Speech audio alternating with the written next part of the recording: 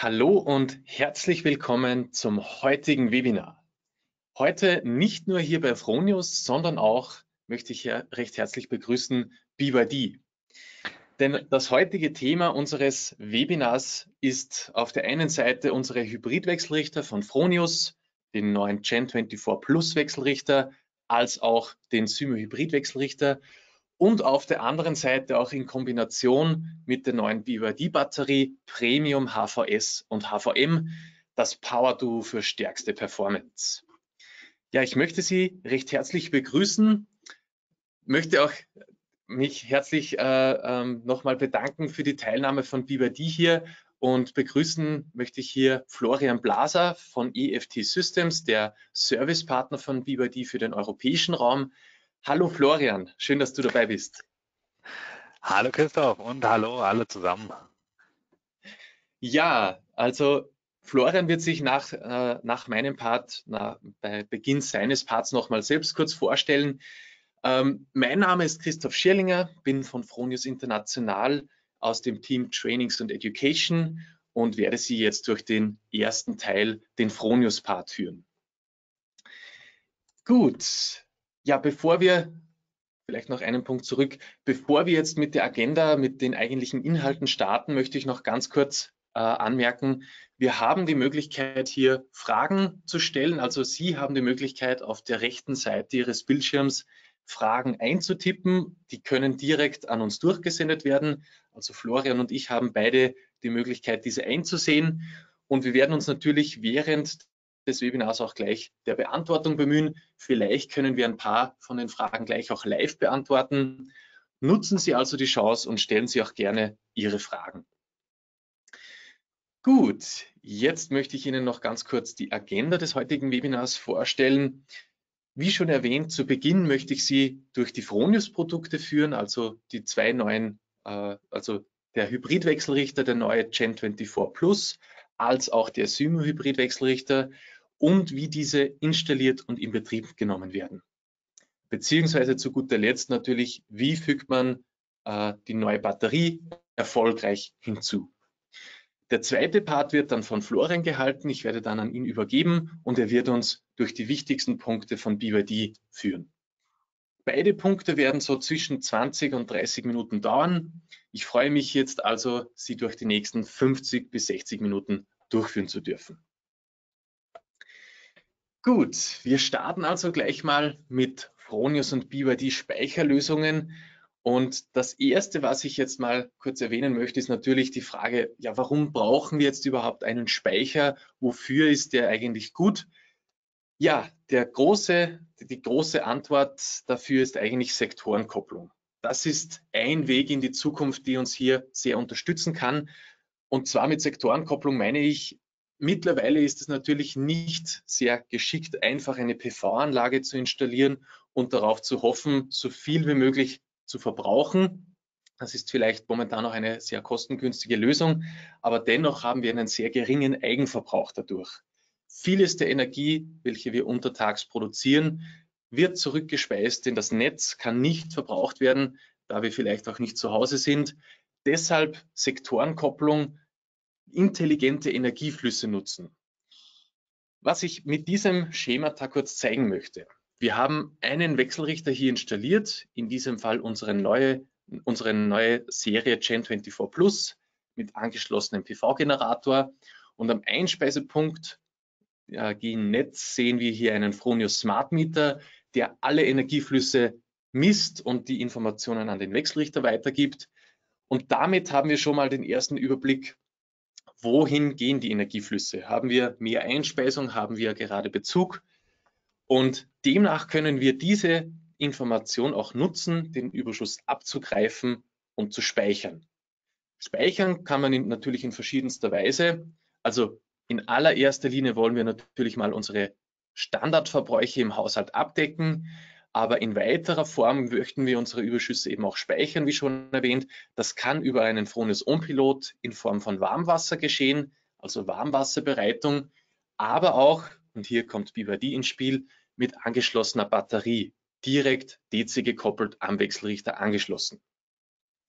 Ja, und mit dieser Form kann entweder in Warmwasser oder eben auch in elektrischer Form die Überschussenergie gespeichert werden, um es zu einem späteren Zeitpunkt wieder zu verwenden. Im nächsten Schritt ist natürlich auch eine Notstromumschaltung möglich, welche uns dann ermöglicht, auch im Notstromfall die gespeicherte Energie in der Batterie wieder zu nutzen. Ja, das also als einleitenden Punkt, wo wir eigentlich den, den Wechselrichter äh, montieren, wo die, die Batterie angeschlossen ist und warum wir dieses System haben möchten. Jetzt möchte ich ganz kurz die neuen Geräte vorstellen. Wir haben ja nicht nur eins, sondern gleich zwei sozusagen. Einmal einen einphasigen Primo Gen 24 Plus, der wird natürlich bei uns im deutschsprachigen Raum eher weniger Verwendung finden. Bei uns ist der Fronius Symo Gen 24 Plus schlagend. Das dreiphasige Gerät, äh, Leistungsklassen hier ersichtlich 6, 8 und 10 kW. Wir haben zwei individuell arbeitende MPP-Tracker und einen Batterieeingang und das Ganze ist schon jetzt verfügbar. Also wir haben Anfang Mitte September mit der Auslieferung begonnen. Also die ersten Geräte sind schon am Kunden installiert mittlerweile. Ja, und das einphasige Gerät wird in kleineren Leistungsklassen von 3 bis 6 kW Anfang nächstes Jahr kommen, also Quarter One 2021, also nächstes Jahr im ersten Quartal wird das aufschlagen mit eben kleineren Leistungsklassen dann. Ja, das zweite BYD Premium batteriefähige Gerät bei uns ist der Symo Hybrid. Auch dieser Snap-Inverter sozusagen ist äh, fähig, eine, eine BYD Premium Batterie anzuschließen. Auch das Gerät ist dreiphasig, hat kleinere Leistungsklassen von 3 bis 5 kW, ist also die Komplementierung zu unserem neuen Trend 24 Wechselrichter. Wir haben hier etwas verringert nur einen MPP-Tracker, aber auch hier eben einen Batterieeingang. Und für beide Geräte gilt eigentlich, wir haben höchsten Wirkungsgrad und maximalen Eigenverbrauch. Auf diese zwei Punkte möchte ich in den nächsten Folien gleich nochmal etwas detaillierter eingehen. Denn, okay, jetzt kommen wir zur Kompatibilität mit BYD. Zu welchem Gerät kann was angeschlossen werden? Ganz wichtig zu wissen, beim Symo Gen 24 Plus können beide Batterieblöcke, äh, also, also beide Batteriesysteme angeschlossen werden. Es ist sowohl für die HVLs als auch für die HVM geeignet. Bitte aber beachten, für den Fronius Symo Hybrid Wechselrichter ist nur eine HVM kompatibel. In der nächsten Folie gehen wir noch etwas detaillierter auf die Kompatibilitäten ein. Für beide gilt, wir haben einen Batterieeingang, wie schon erwähnt. Ein paar technische Unterschiede haben wir aber. Für den Symo Hybrid haben wir maximal 16 Ampere, was wir hier äh, Lade- und Entladestrom bieten können. Bei der Gen 24 etwas mehr, 22 Ampere. Und dementsprechend gestalten sich auch die Lade- und Entladeleistungen etwas unterschiedlicher. Bis zu 6,5 kW beim Symo Hybrid und bis zu 9 kW beim Gen 24 Plus. Bitte aber beachten, das ist dann abhängig je nach Wechselrichtergröße und auch je nach Batteriegröße. Auch dazu noch eine genauere Folie. Ja, wie versprochen, eine kurze Kombinationsmatrix jetzt mit unseren Wechselrichtern und den Batterien. Wir können hier auf der linken Seite HVS und HVM aufgegliedert sehen in die verfügbaren Kapazit Kapazitätsgrößen und hier die Kompatibilität mit unseren Wechselrichtern. Möchte jetzt mal den Fokus auf unseren Symo Gen 24, unseren dreiphasigen, legen. Da können wir sehen, bei der HVS sind wir hier überall kompatibel außer bei der größeren HVS der 12,8 Kilowattstunden. Grund dafür ist eine etwas zu hohe Systemspannung für unseren Wechselrichter. Deshalb äh, ist hier die größte Batterie von der HVS-Serie nicht kompatibel. Gleiches bei der HVM. Wir sind auch hier überall kompatibel, außer mit der kleinsten HVM. Dasselbe rückwärts, also hier haben wir etwas zu geringe Spannungen für unser System. Deshalb können wir hier die 8,3 Kilowattstunden nicht kombinieren. Aber alle anderen Systeme sind kompatibel und anschlussfähig. Ja, die zweite Grafik, die ich jetzt noch zeigen möchte, beschäftigt sich mit den Lade- und Entladeleistungen mit Fronius. Wir haben schon gehört, bis zu 9 kW auch im Notstrom ist hier mit Gen24 möglich. Das eben abhängig je nach Größe der Batterie und des Wechselrichters. Angenommen, wir haben einen Symo Gen24 10 kW und eine der, die, die größte kompatible HVS-Batterie mit 10,2 Kilowattstunden, dann ist hier auch eine Lade- und Entladeleistung von 9 Kilowatt möglich. Würden wir ein kleineres System wählen, würde auch die Lade- und Entladeleistung dementsprechend hinuntergehen. Aber dementsprechend hoch sind auch diese Werte hier noch, muss man, muss man hier auch dazu sagen. Ja, eines der wichtigsten Punkte in unserem System ist natürlich der Fronio Smart Meter. Wir haben schon gehört, er sitzt am Einspeisepunkt und ist eigentlich essentiell für unser Speichersystem, da er die Energieflüsse misst und somit auch darstellen kann, haben wir Überschuss äh, verfügbar oder beziehen wir gerade aus dem Netz. Hier dargestellt zwei Bilder.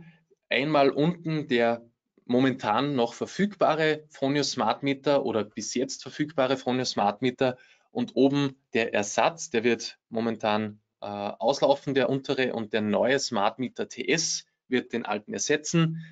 Äh, TS steht für Touchscreen, ist also ein, ein Touchscreen-Gerät, im Prinzip aber selbe Bauweise, selbe, selbe Inhalte, mehr oder weniger und auch selbe Kommunikationsanbindung und ermöglicht es uns einfach, eine Basis auch für vollständiges Monitoring in unserem Online-Tool Infronius SolarWeb zu schaffen. Also wir haben einen bidirektionalen Zähler, der sowohl die Einspeisung misst, als auch den Bezug aus dem Netz. Ja, und ein wichtiges Element, wenn wir jetzt von Fronius Smart Metern sprechen, ist das sogenannte Multiflow-Technologie. Multiflow beschreibt im Prinzip die optimale Nutzung der Energie und die, parallel, die Steuerung von parallelen Energieflüssen. Das alles ist möglich mit Fronius Hybridwechselrichtern, so zum Beispiel auch der Gen24. Hier dargestellt sehen wir jetzt ein Schemata mit einem Gen24 Plus und einem angeschlossenen PV-Generator. Wir haben auch eine Batterie hier angeschlossen, wie wir hier sehen können. Und vielleicht haben wir auch noch einen zweiten Erzeuger wie ein Windrad oder einen zweiten PV-Wechselrichter. Jetzt ist es die Aufgabe des Hybridwechselrichters zu schauen, dass am Einspeisepunkt, dort wo der Smart Meter sitzt, alles optimalerweise auf Null zu halten. Wir möchten so wenig wie möglich einspeisen ins Netz, so viel wie möglich selbst verbrauchen und speichern und zur gleichen Zeit natürlich auch so wenig wie möglich aus dem Netz beziehen. Das heißt, es wird immer geschaut,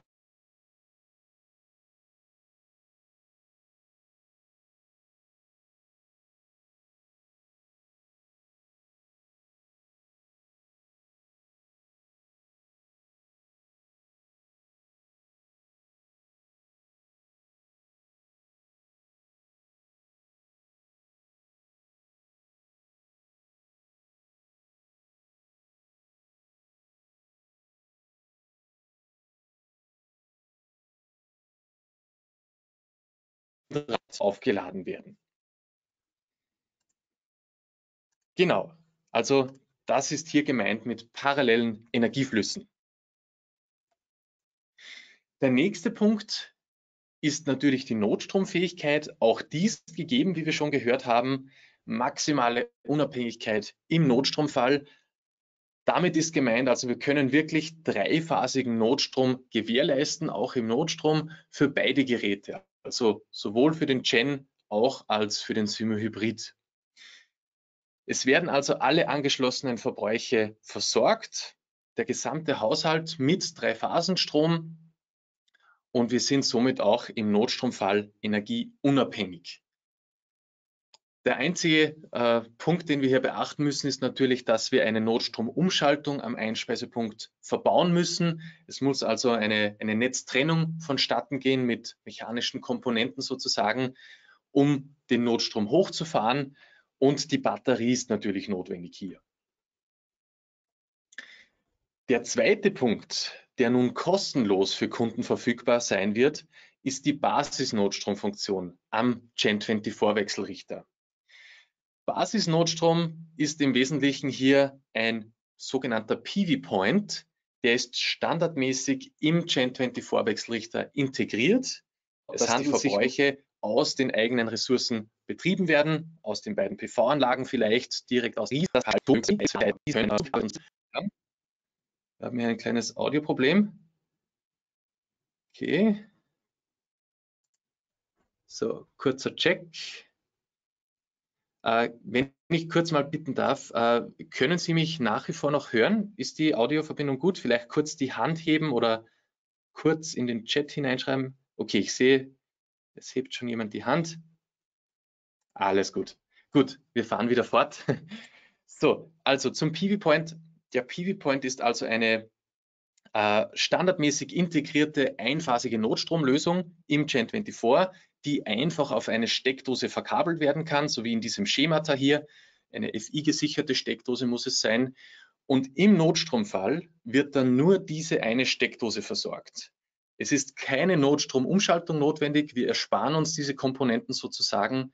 Es ist standardmäßig integriert und der Kunde kann dann eben nur im Notstromfall diese eine Steckdose mit bis zu 3 kW versorgen, um vielleicht den Kühlschrank anzustecken, ähm, mobile Geräte aufzuladen, Licht an, anzumachen und so weiter. Spitzenleistungen bis zu 4,1 kW können natürlich auch bis auf 5 Sekunden abgedeckt werden. Nominalleistung ist dann eben die 3 kW.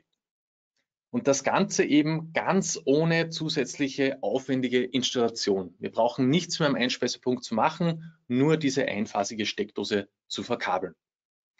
Das ist also die Neuheit auch beim Gen24 Wechselrichter, die wir hier dann bieten können. Gut, wir gehen einen Schritt weiter und schauen uns jetzt mal die Installation und die Inbetriebnahme unseres Gerätes etwas genauer an. Ja, wir schreiben hier jetzt einfachste Installation und Inbetriebnahme. Ich hoffe, alle, die mittlerweile schon ein Gen24-Gerät haben oder installiert haben sogar, können das bestätigen. Es geht wirklich flott und wirklich rasch. Zum einen, weil natürlich darauf geachtet wurde, hier bei der Inbetriebnahme alles so leicht wie möglich zu machen. Zum Beispiel die Wandhalterung hier ist wirklich ein ganz leichtes äh, äh Aluminium, das hier äh, an die Wand montiert wird, kann von einer Person gemacht werden. Wenn das montiert wurde, kann das eigentliche Leistungsgerät eingehängt werden. Der eigentliche Wechselrichter ist ein, ein Snap-in-Prozess, also oben haben wir Halterungen, unten haben wir dann Sicherungen, die das Ganze halten. Haben wir das geschafft, schrauben wir den unteren Teil dieser Abdeckung ab. Das ist der sogenannte äh, Deckel der ähm, ähm, Verkabelungseinheit dann. Das Ganze ist aber nicht mit standardmäßigen metrischen Schrauben zu machen, sondern mit sogenannten Quicklock-Schrauben. Das sind 180 Grad Drehverschlüsse, also ein halber Dreh sozusagen und die Schraube ist offen. Fünf dieser Schrauben sichern diese untere Platte und dementsprechend schnell kann auch hier zum Anschlussbereich gekommen werden. Zum Anschlussbereich selbst haben wir dann auch hier keine Schraubverbindungen. Ich brauche lediglich ein abisoliertes Kabel in diese Federzugklemmen einführen, verschließen, wieder anstecken und das Ganze kann wieder verschlossen und hochgestartet werden. Also es ist ein wirklich schneller Prozess hier möglich, sowohl bei der Inbetriebnahme als auch beim Service natürlich. Ich möchte Ihnen ganz kurz einen detaillierteren Einblick in diese Kabelanschlüsse hier ermöglichen. Hier im Bild sehen wir einen Symogen 24 Plus und mit abgeschraubtem äh, Deckel hier unten. Das heißt, wir können hier schön sehen, diese Anschlussklemmen, diese Federzugklemmen sind sowohl auf der DC-Seite links als auch auf der AC-Seite rechts äh, verfügbar. Und ja, vielleicht ganz kurz von links nach rechts. Wir haben hier die DC-Anschlüsse für PV und Batterie, Plus und Minus. In der Mitte haben wir unsere Datenkommunikationseinheit, bei uns auch genannt Pilot ist eben dafür zuständig, sowohl Smart Meter als auch die Batterie anzuschließen, kommunikationstechnisch, als auch ist es unser, unser visuelles Feedback, weil wir ja keinen Display mehr haben, aber dafür zwei LEDs und einen sensorischen Tastsensor. Das alles befindet sich auf dieser Kommunikationseinheit. Rechts davon noch ein Erdungsklemmblock, die einzige Komponente hier, wo wir auch noch Schraubverklemmungen haben ein Kupfer, eine Kupferschiene Und gleich links davon sehen wir den PV-Point, wie schon erwähnt, einphasiger Anschluss und rechts davon die eigentliche AC-Klemme. Ja, zur Kommunikation. Es äh, schaut etwas viel aus hier auf dieser Folie. Ich möchte nicht auf alles eingehen.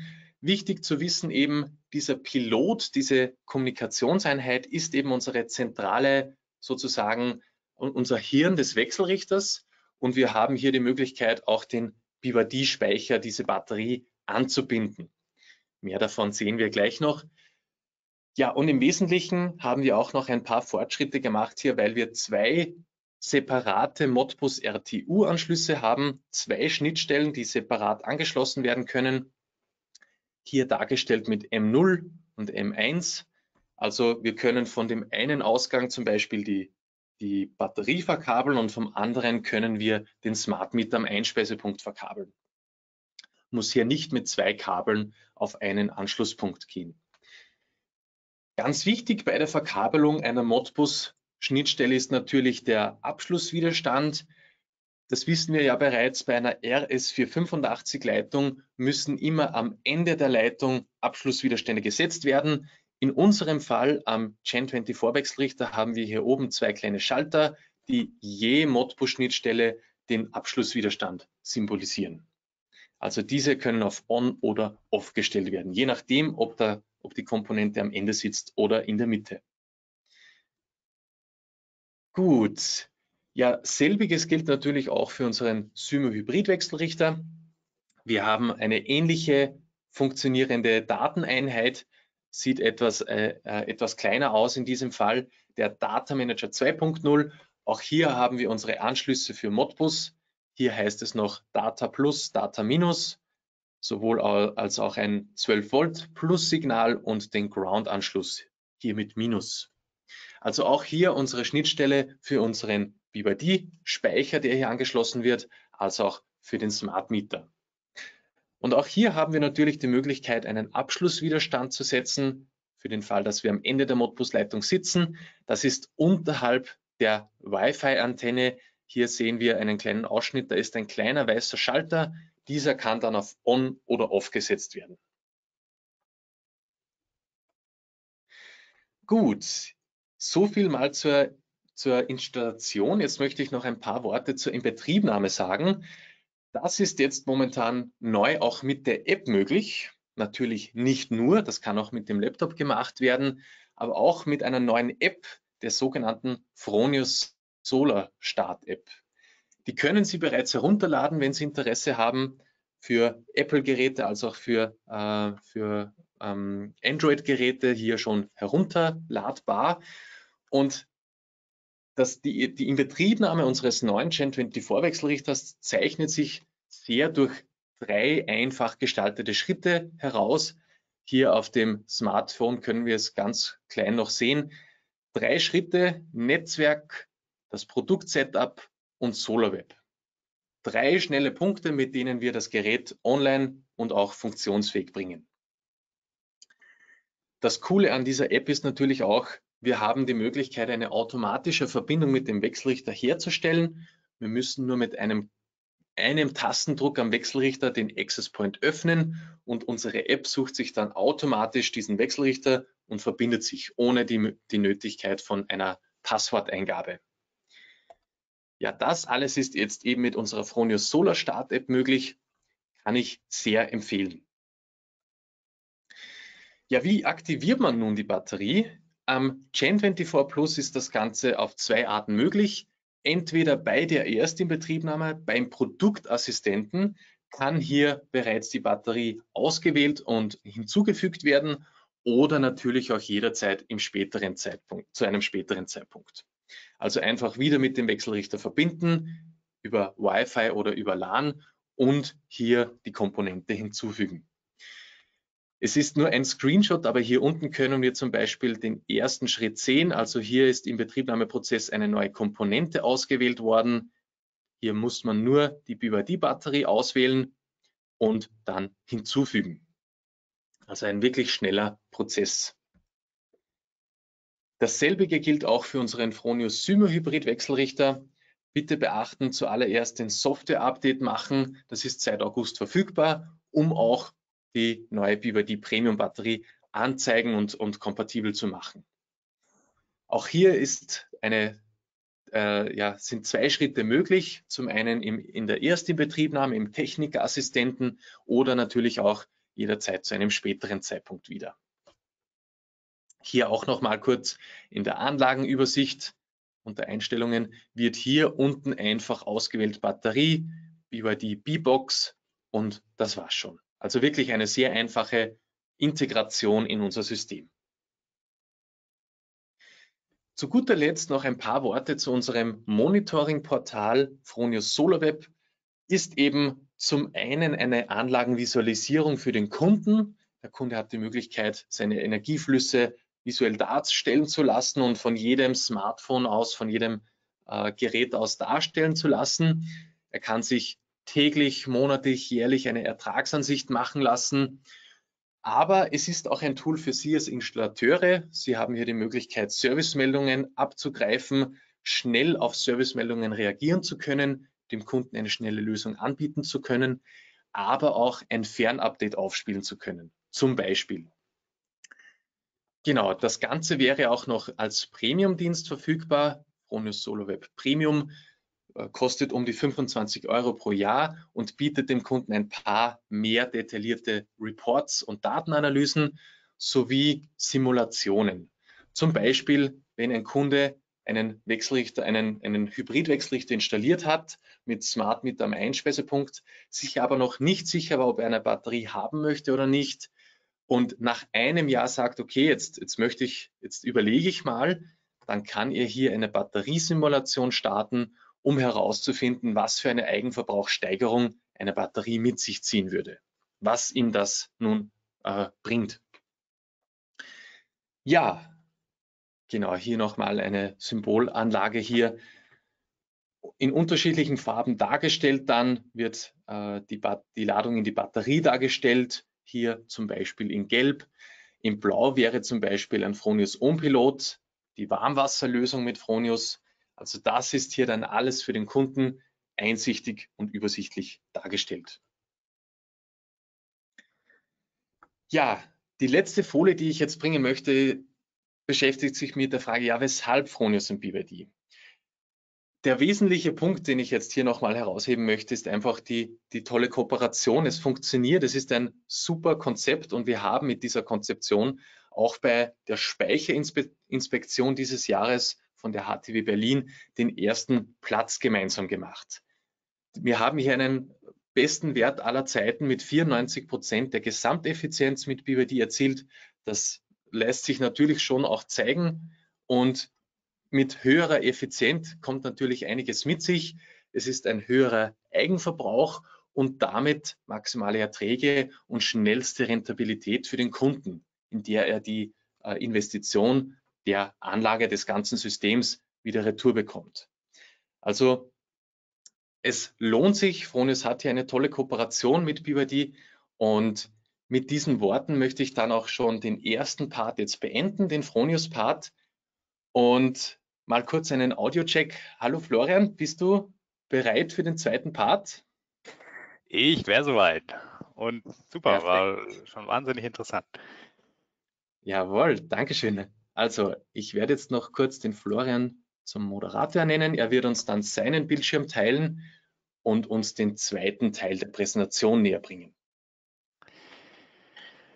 So, ich hoffe, man sieht meinen Bildschirm und auch den richtigen. Jawohl. Wir sehen, wir haben bereits ein Bild. Perfekt, super. Dann, gut, dann übernehme ich gleich. Erst einmal vielen Dank.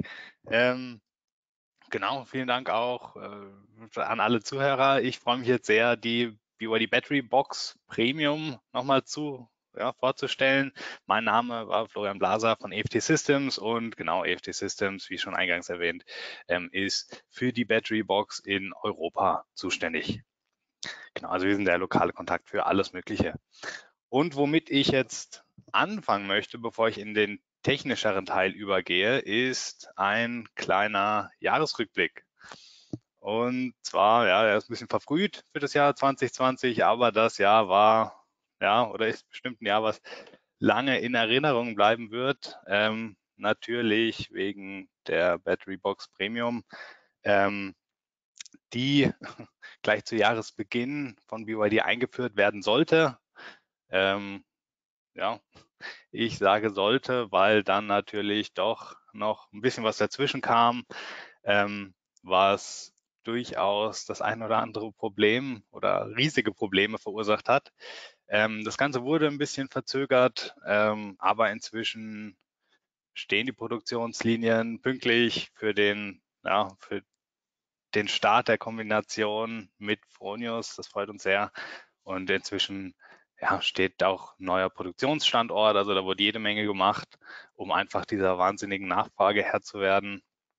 Ähm, und jetzt kommen auch jede Menge Batterien endlich wieder. Und ja, trotz Covid wurden die Pläne eben noch ein bisschen verschoben. Aber kommen wir mal generell zu den Punkten, die wir in 2020 gelernt haben. Also es war schon ein spannendes Jahr, wie gesagt. Einmal, was haben wir gelernt über BYD und die Battery Box? Einmal BYD, ja, versucht Verantwortung zu zeigen. BYD hat kurzerhand im Februar, als Covid noch in Europa noch nicht so das große Thema war, äh, in China schon, hat BYD geschaut, was so das Nötigste ist. Neben natürlich einem Impfstoff waren das damals schon die Masken, äh, großer Mangel. Ähm, und BYD hat sich kurzerhand dazu entschlossen, Masken selber herzustellen. Und auch die ganzen Maschinen, die man für solche Produktionslinien braucht, waren natürlich im Februar nicht wirklich auf dem Weltmarkt verfügbar. Deshalb hat BYD kurzerhand auch einfach die ganzen Maschinen selber hergestellt und ist inzwischen zum größten Hersteller von ja, solchen Schutzmasken aufgestiegen. Ich habe ein paar hier, die kann ich jetzt leider übers Webinar nicht verteilen. Ähm, aber das ist schon eine wahnsinnige Leistung. Vor allem da wurden die Produktionsstraßen innerhalb von ein, zwei Wochen hochgezogen. Also man kennt ja das Krankenhaus, was in China in ein, zwei Wochen gebaut wurde. So ähnlich hat das BYD auch gemacht. Also es ist ähnlich beeindruckend. Ähm, gibt auch ein kleines Video auf YouTube, da sieht man mal, was da wirklich für einen Aufwand auch hintergesteckt hat, um da eben diese inzwischen 50 bis 100 Millionen Masken am Tag herzustellen. So, das hat bestimmt äh, einmal geholfen, eben diesen, diesen Maskenmangel äh, ja, zu decken.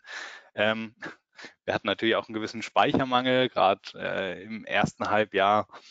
Ähm, aber inzwischen hat BYD hier auch für die Battery Box Premium, wie gesagt, ganz neue Produktionsstandorte, ganz, ganz neue Produktionslinien, die auch sehr flexibel angepasst werden können an die weiterhin aus unserer Sicht extrem dynamisch wachsende äh, Speichernachfrage.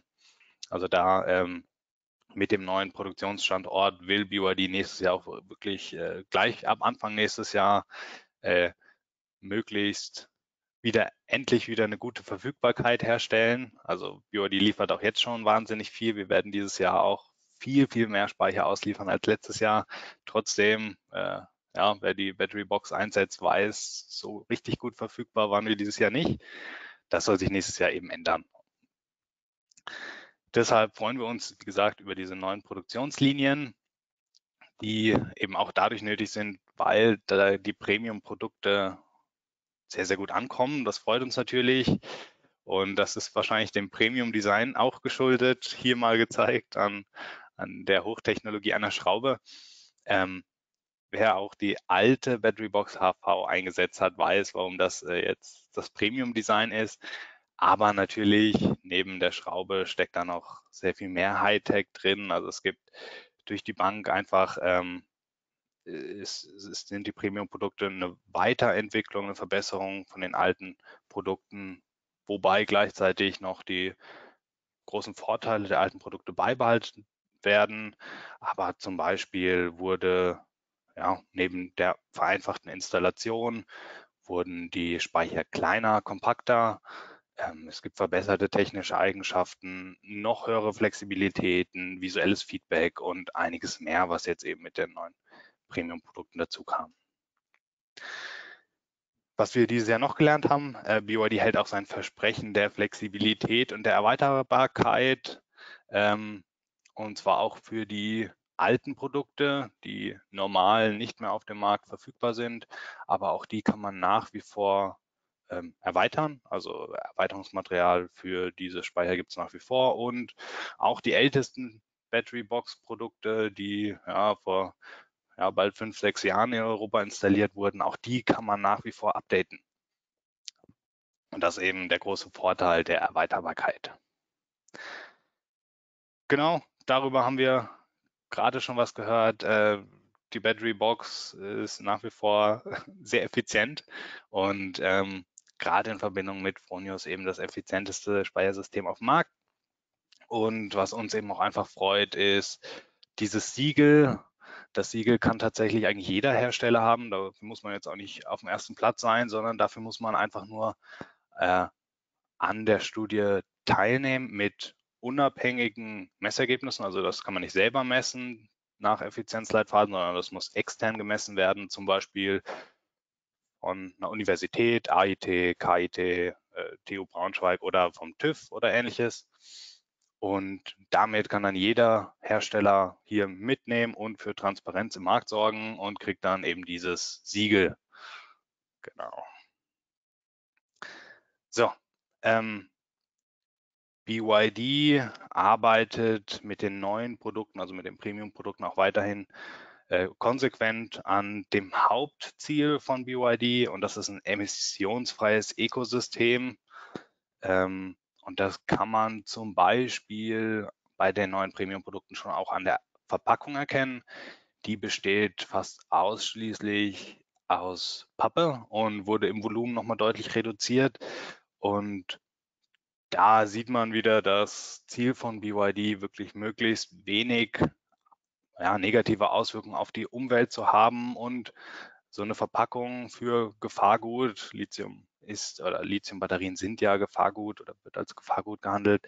Ähm, deshalb ist das durchaus komplex, hier eben eine entsprechende Verpackung mit Pappe zu äh, realisieren.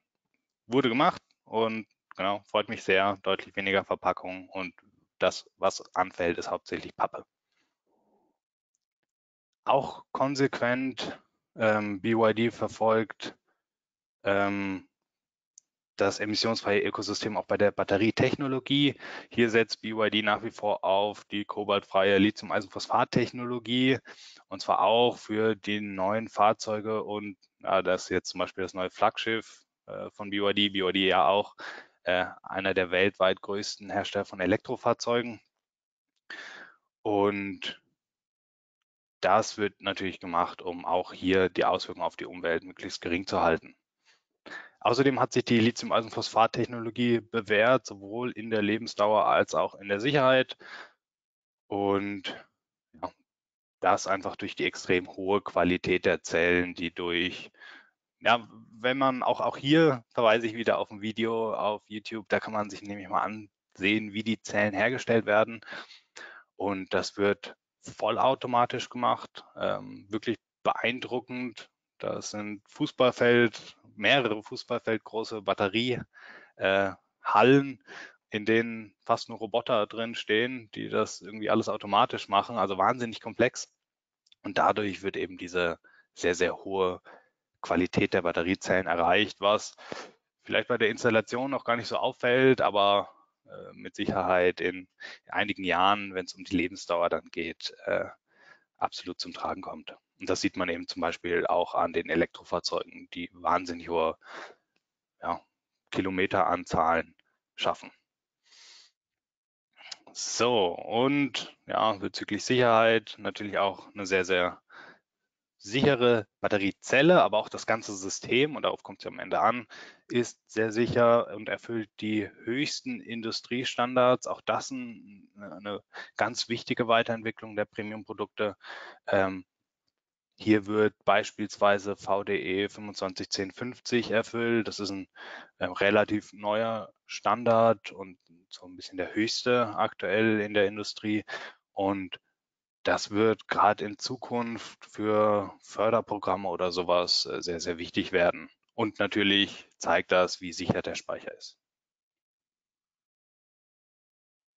So, und einer oder ja, vielleicht der Hauptvorteil von der Battery Box ist ja die Flexibilität und dass die Flexibilität in so einem einfachen System realisiert wird und dass die bisherigen Produkte flexibel waren, das, das weiß man und die neuen Produkte sind noch flexibler, man kann noch höher in der Kapazität, äh, kann das Ganze draußen installieren, wie hier rechts gezeigt, kann das Ganze äh, ziemlich hoch stapeln, wie hier links gezeigt, in einem 22 Kilowattstunden Speicher.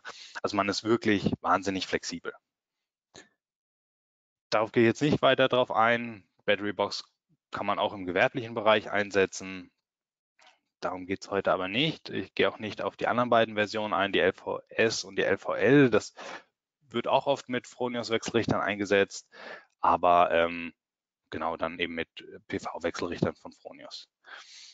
Aber absolut die HVS, HVM, die, die Hochvoltspeicher sind natürlich das, was im Privathaus vor allem oder auch im Kleingewerbe äh, am alleröftesten eingesetzt wurde. Deshalb, äh, es gab vorher, früher eine HV, daraus wurden zwei Modelle, weil einfach äh, die Hochvoltspeicher eine wahnsinnig starke Nachfrage erfahren, auch einfach, weil es im System eben mit diesen tollen Wechselrichter auch von Fronius ähm, eine, eine ganz, ganz runde Lösung ergibt. Und genau, deshalb jetzt zwei Versionen vom Hochvoltspeicher und auf die gehe ich jetzt technisch noch genauer ein. Es gibt die HVS und die HVM. Die HVS steht für High Voltage Small. Also ähm, im Namen steckt schon, dass es einmal ein Hochvoltspeicher ist und dass es vermeintlich kleiner ist.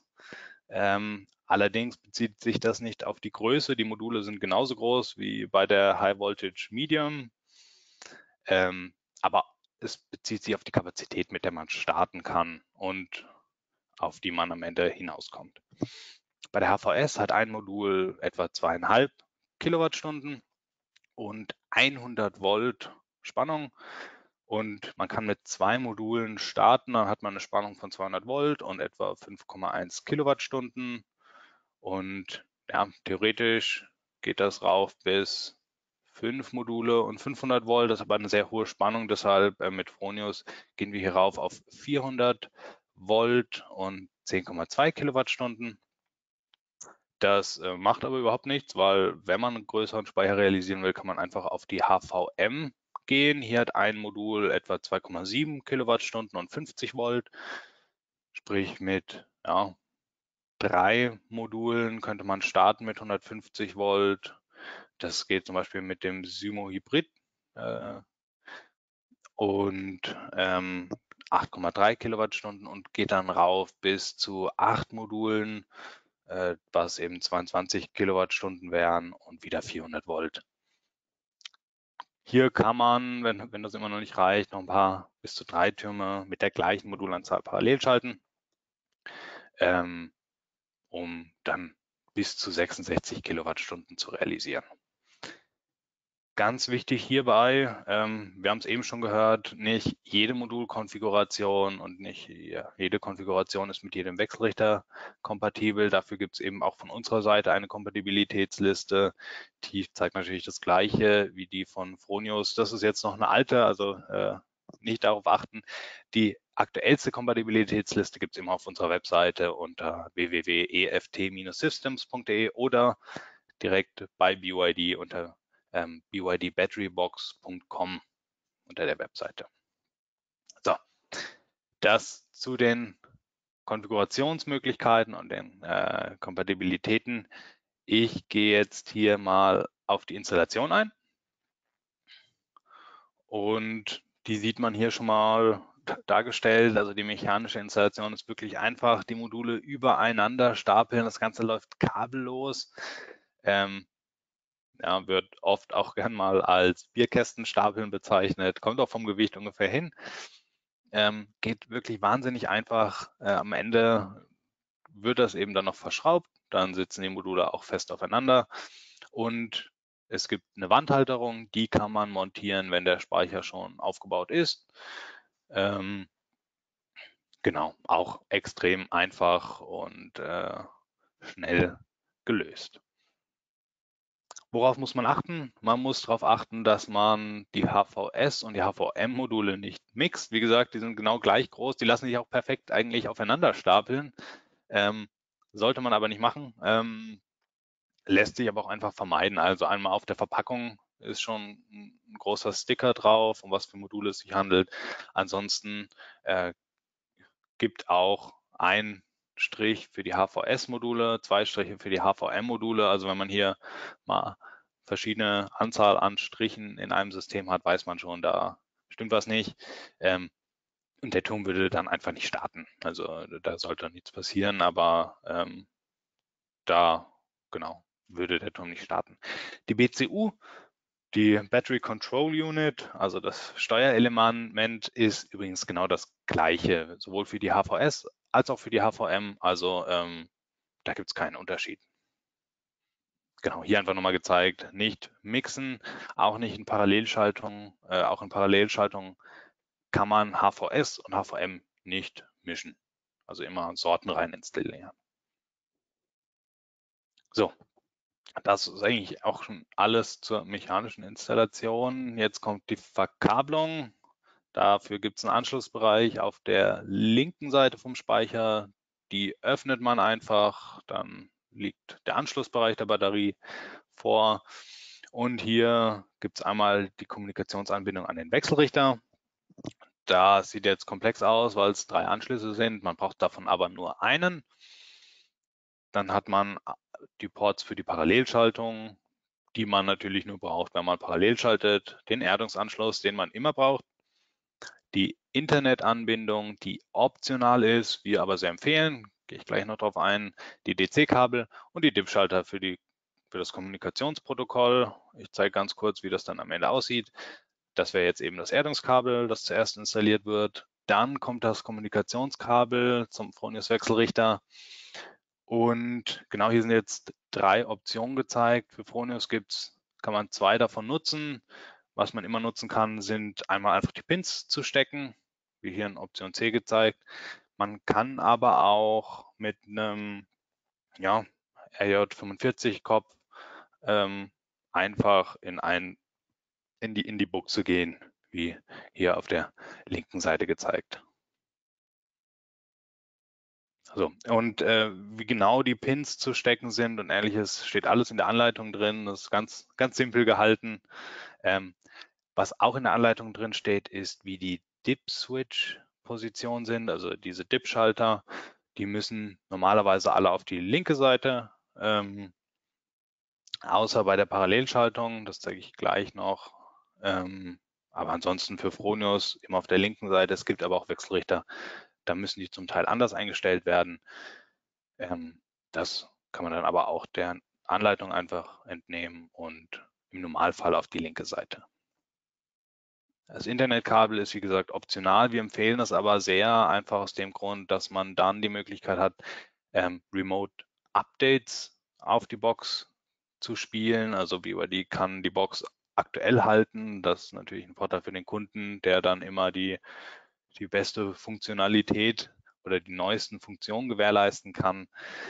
Ähm, aber auch äh, externer Service kann gewährleistet werden. Deshalb gerne, gerne installieren, wenn noch äh, ein Internet-Slot frei ist.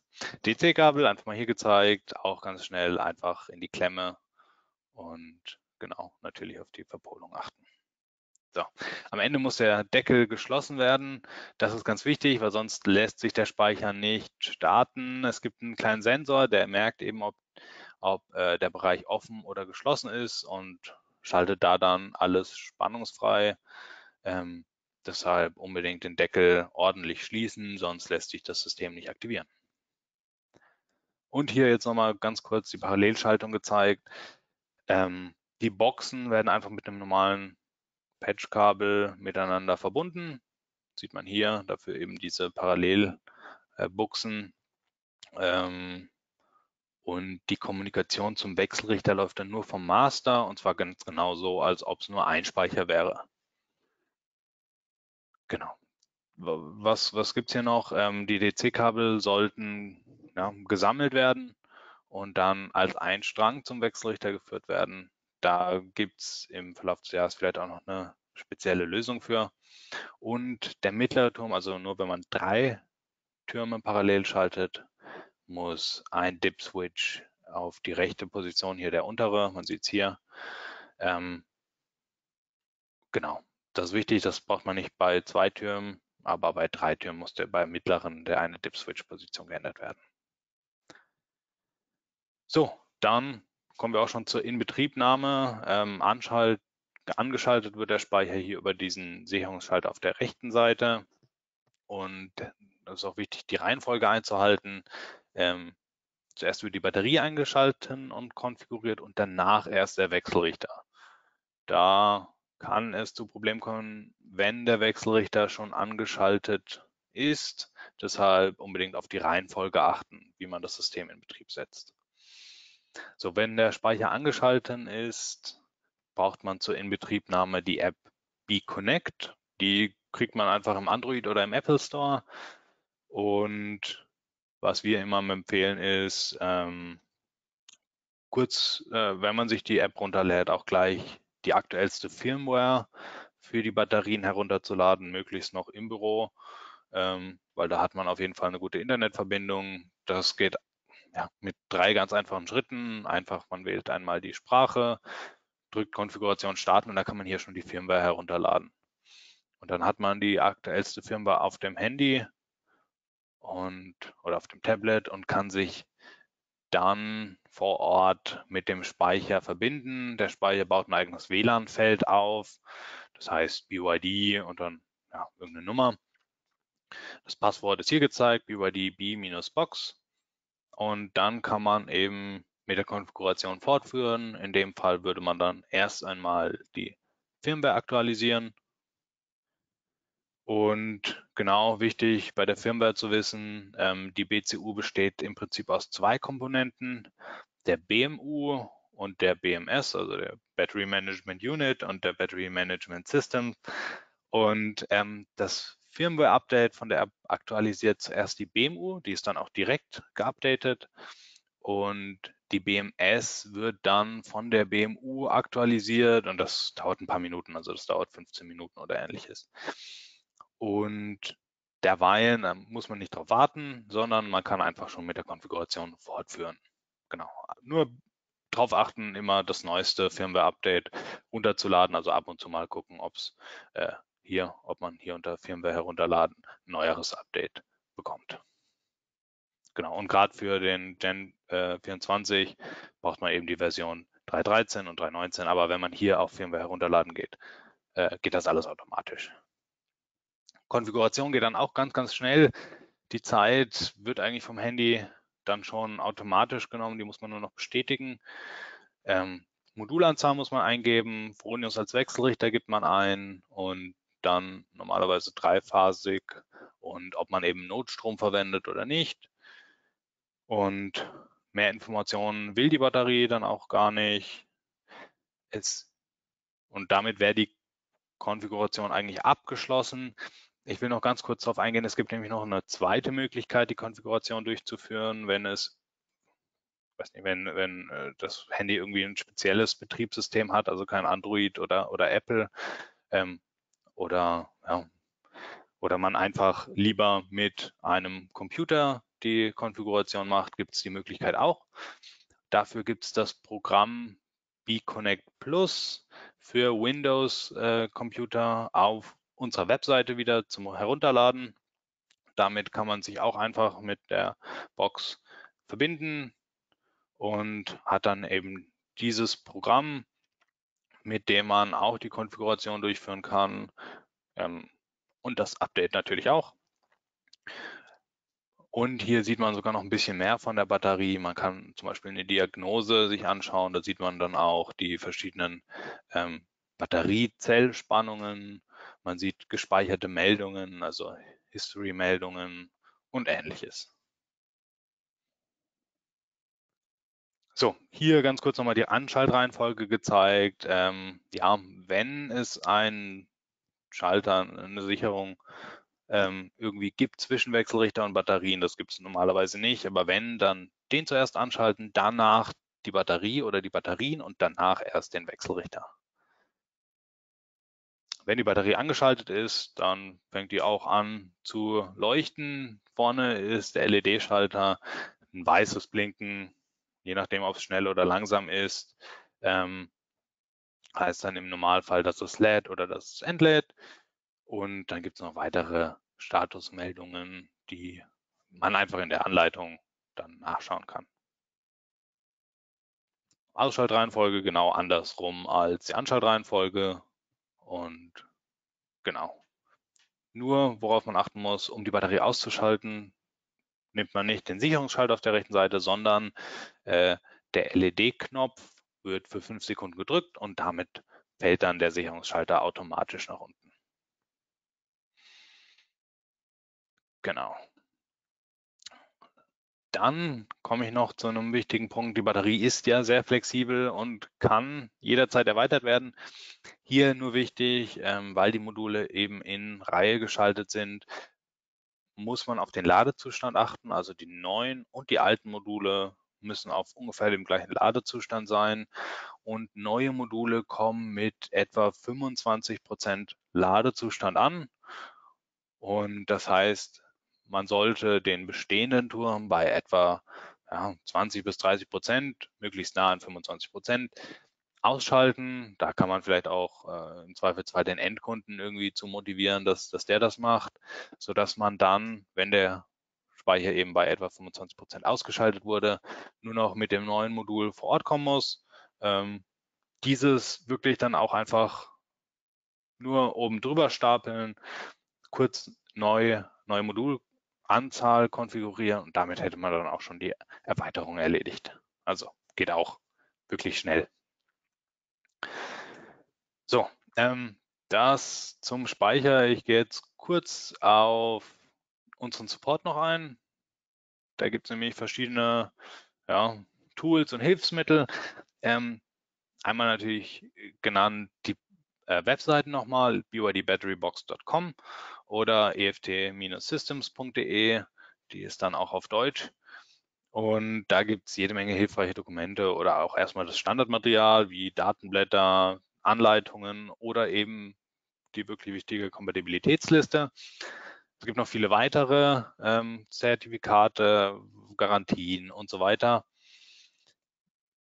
Was es auf unserer EFT Systems äh, Webseite noch gibt, ist einmal unser Help Center, ähm, die, der, den Service-Leitfaden und Checkliste und das Online-Service Center. Das will ich ganz kurz mal vorstellen. Genau zu finden sind die drei Sachen, also einmal die Service, der Service-Leitfaden unter Downloads, dann hier rechts oben das Online-Service Center und das Help Center ganz prominent unten auf der Webseite. Und ich fange mal an mit dem Help Center. Das ist ähm, für ja, Installateure, für Fachpartner. Und hier hat man zum Beispiel häufig gestellte Fragen, ja, ein FAQ. Ähm, man hat nochmal alle Dokumente, auch mit einer kurzen Erklärung und alles schön auf einen Blick. Und man sieht hier auch äh, gleich einen Reiter mit technischer Support, wo man zum Beispiel auch nochmal den Service-Leitfaden erhält. Oder einfach ein To-Do, was man macht der Service-Leitfaden und Checkliste hier mal gezeigt. Äh, der Leitfaden führt einen eigentlich, wenn man mal irgendwie, wenn doch ein Problem auftritt, führt der Leitfaden ein durch die Schritte. Damit kann man meistens das Problem schon lösen.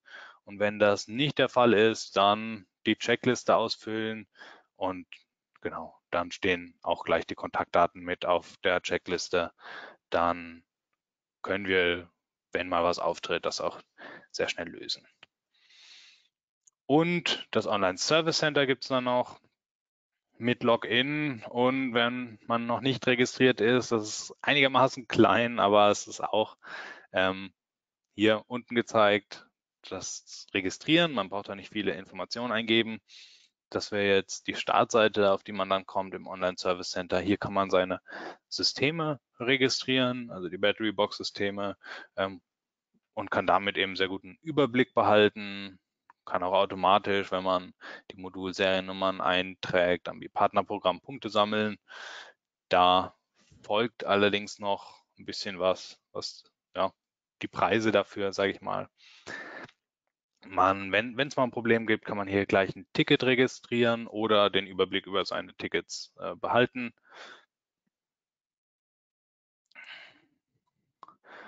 Und äh, gerade für die alten Systeme kann man auch hier das Erweiterungsmaterial ähm, registrieren. Also wenn man für die bereits nicht mehr am Markt erhältlichen Produkte, also zum Beispiel die Battery Box HV, also das Vorgängermodell noch Erweiterungsmodule braucht, dann hier einfach das System registrieren und die Erweiterungsanfrage und dann kann man das ganz normal beim Großhändler wieder bestellen.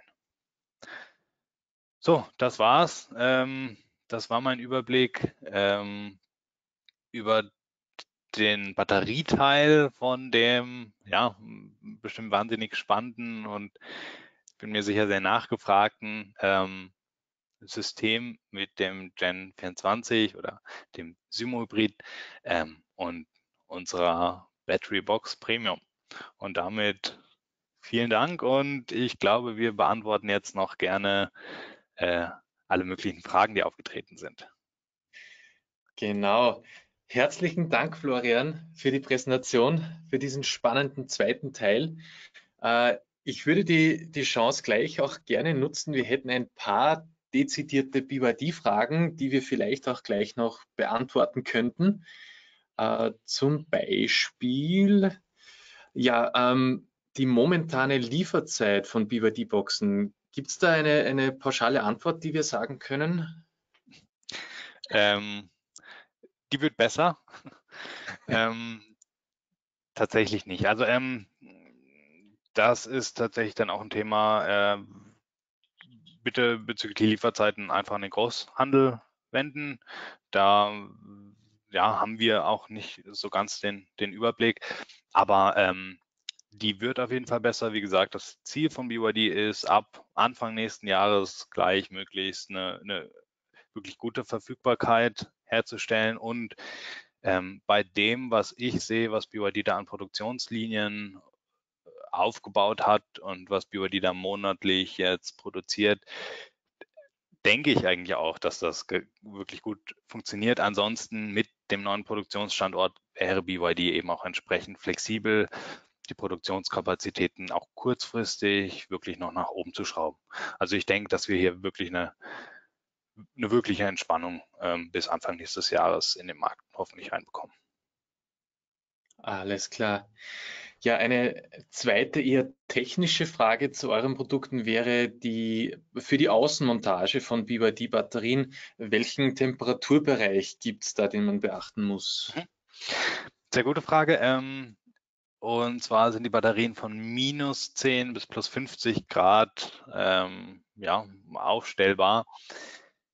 Das, ja, das reicht oftmals in Europa natürlich nicht. Also da kann es auch mal kälter als minus 10 Grad werden, aber gerade für die Garage und ähnliches ähm, sollte das ganz gut ausreichen. Und ja, das Bild hier jetzt links oben gezeigt ist natürlich aus Australien.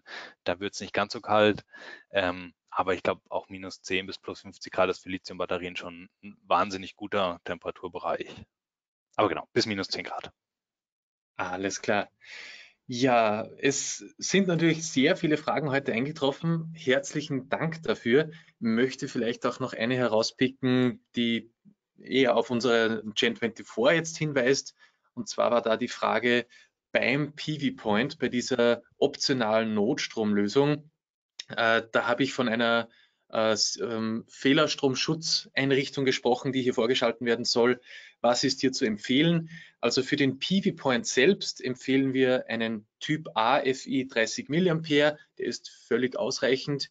Ähm, kann natürlich auch höherwertig eingebaut werden, aber das beschreibt unseren Mindeststandard mehr oder weniger.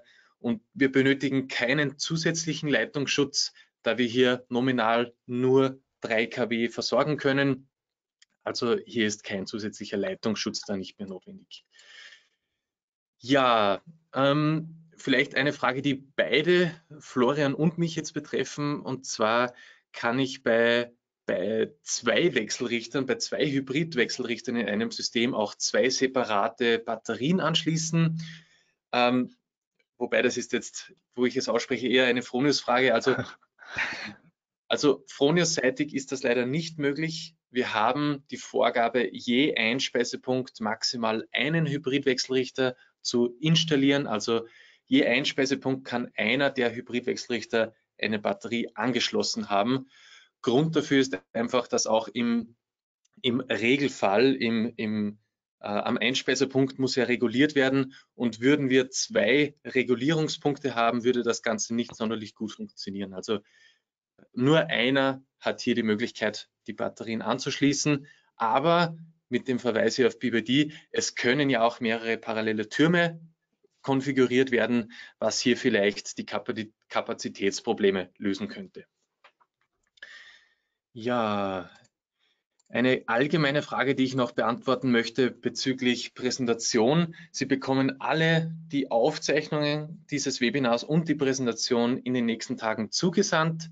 Da können Sie sich das gerne nochmals durchhören oder die Präsentation nochmal durchlesen, falls noch Fragen offen sind. Ähm, ja, Florian, irgendwas, was du noch anmerken möchtest? Ich äh, schaue mir gerade auch noch mal so ein bisschen die Fragen an. Ähm, ich würde einfach gerade, also es sind ein paar spezielle Fragen dabei, die ich dann einfach äh, speziell äh, bearbeiten würde. Ansonsten sehe ich hier gerade nichts mehr ganz Allgemeines auf den ersten Blick. Mhm. Ähm, ich würde würd auch vielleicht vorschlagen, also es bleibt keiner ohne Antwort. Keine Angst, wir werden natürlich die, die Fragen noch beantworten, aber nicht alle hier live, sondern wir werden uns dann einfach per Chat bemühen, sie schriftlich zu beantworten. Und ähm, ja, dann würde ich einfach sagen, wir, wir schalten uns beide dann äh, auch schon stumm, lassen das Webinar sozusagen ausklingen und werden uns dann einfach schriftlich der Fragen noch widmen. Und ja, wenn das für dich passt auch, Florian, ma machen wir das so, oder? So machen wir das. Perfekt. Ja, in diesem Sinne äh, an alle Teilnehmer herzlichen Dank fürs Zuschalten heute. Äh, herzlichen Dank auch Florian fürs Dabeisein. Super Sache, hier gemeinsam mal ein Webinar zu machen. Und ja, vielleicht bis zum nächsten Mal wieder mal bei einem gemeinsamen Webinar und für Sie, liebe Zuhörer, bis zum nächsten Mal hier bei Fronius zu einem Webinar. Vielen Dank auch noch von meiner Seite aus und einen schönen Tag alle. Ciao.